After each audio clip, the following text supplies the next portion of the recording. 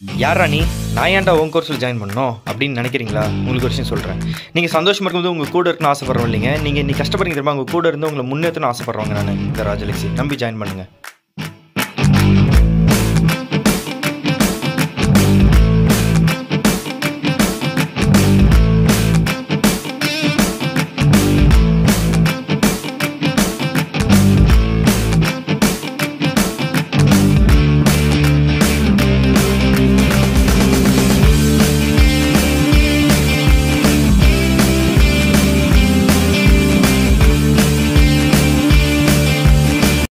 family good morning to all இன்னைக்கு நம்ம பார்க்க போகிறது எயித்து ஸ்டாண்டர்ட் தமிழில் இயல் ஆறில் இருக்க கவிதை பேழையான மலைசோறு பார்க்க போகிறோம் ஒரு நாட்டோட வளத்தை அடிப்படையாக விளங்குவதே எதுனா மலை தான் மலை வந்து பொய்த்து விட்டுன்னு வச்சுக்கோங்களேன் நீர்நிலைகள்லாம் வற்றிவிடும் நாட்டில் பசியும் பஞ்சமும் தலைவிரித்து ஆடிரும்.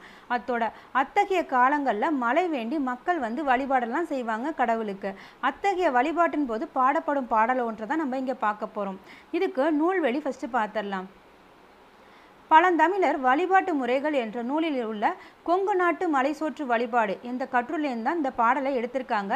இந்த நூலோட ஆசிரியர் என்னென்னா ஆ கௌரன்கிறவர் தான் சரிங்களா? இந்த தெரிந்து கொள்வோம்ல என்ன கொடுத்துருக்காங்கன்னா மழை பெய்யாமல் ஊரில் பஞ்சம் ஏற்படும் காலங்களில் சிற்றூர் மக்கள் என்ன பண்ணுவாங்கன்னா ஒவ்வொரு வீடாக சென்று ஒப்பி உப்பில்லா சோற்றை ஒரு பானையில் வாங்கிட்டு வருவாங்க.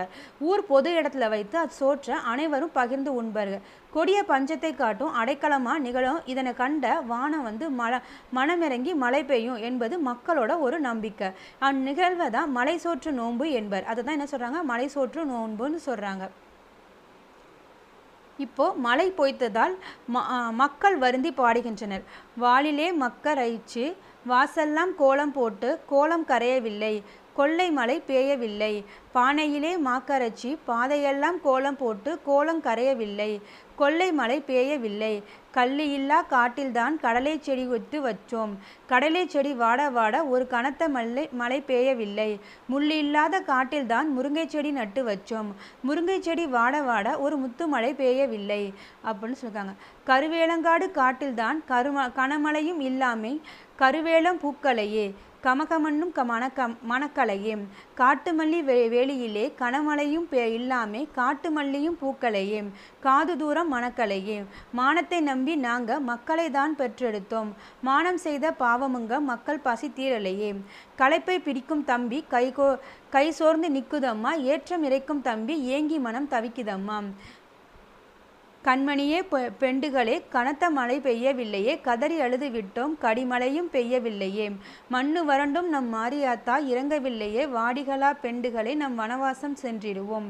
பெய்து பெய்யுதையா பெய்யுது பேய்மழையும் பெய்யுது ஊசி மழை காலிறங்கி உலகமெல்லாம் பெய்யுது சிட்டு போல மினி மின்னி மின்னி மின்னி சீமை எங்கும் பெய்யுது சீமை எங்கும் பெஞ்ச மழை செய்ய செல்ல மழை பெய்யுது அப்படின்னு சொல்லியிருக்காங்க இது என்னன்னா அதாவது சுத்தமாக மழையே இல்லைங்கிறதுனால அவங்க வாசலில் கோலம் போட்டால் வந்து கரைய மாட்டேங்குது. க கடலை செடியை நட்டு வச்சா அந்த கடலை செடி கூட மழை பெய்யாமல் மழை பெஞ்சு கனத்த மழையினால போய் போயிடும்ல அதை சொல்லியிருக்காங்க முருங்கை செடி நட்டு வச்சா முருங்கை செடி வாட வாடுறதுக்கு ஒரு முத்து மழை பெய்யலை அப்படின்னு சொல்லியிருக்காங்க கருவேலம் காட்டில் தான் கனமழையும் இல்லாமல் கருவேலமும் பூக்க மாட்டேங்குது. இவ்வாறு மூன்று நாள் நாளில் ஐந்து நாட்களுக்கு பாடி வழிபாடு செய்கிறாங்க அதுக்கு பிறகு அதுக்கு பிறகு மழை பெய்யாததுனால காட்டிற்கு செல்ல முடிவெடுக்கிறாங்க இவ்வாறு பாடிக்கொண்டே சென்று சோறு வாங்கிய பானை அகப்பை பழைய போன்றவற்றை தலையில் வைத்துவிட்டு வச்சுக்கிட்டு ஊரை விட்டு வெளியேறும் முனைகின்றனர். அப்போ தான் வந்து மழை பெய்யுது. அதாவது ஃபஸ்ட்டு இந்த மாதிரிலாம் சொல்லி ஃபீல் பண்ணி பாடுறாங்க. மூணு நாள்லேருந்து அஞ்சு நாள் பாடுறாங்க. அப்பையும் மழை பெய்யலை. சரி நம்ம இந்த மாதிரிலாம் சாதம்லாம் வாங்கினோம்ல அந்த பானை கலப்பை அதெல்லாம் எடுத்துக்கிட்டு ஊரை விட்டு போய் காட்டுக்கு போவோம் அப்படின்னு போயிட்டு கிளம்புறப்ப கரெக்டாக வந்து மழை பெஞ்சிருது அப்படின்னு சொல்லியிருக்காங்க. இந்த பாடலை எழுதினது யாருன்னா ஆ கௌரன். ஓகேவா ஃபேமிலி தேங்க்யூ